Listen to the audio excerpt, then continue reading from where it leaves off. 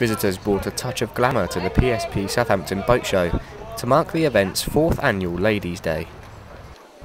Scores of women donned posh frocks and fancy hats for the occasion as the Daily Echo sought out the best dressed lady.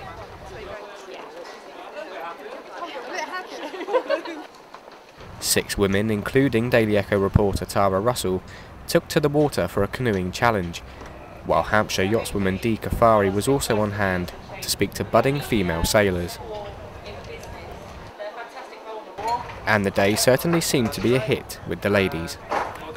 We've just literally walked in. By just walking in, we've just bumped into a load of people that are really excited about seeing women dressed up. The thing is, the ladies today have never been to the boat show before, so they had no idea what to wear.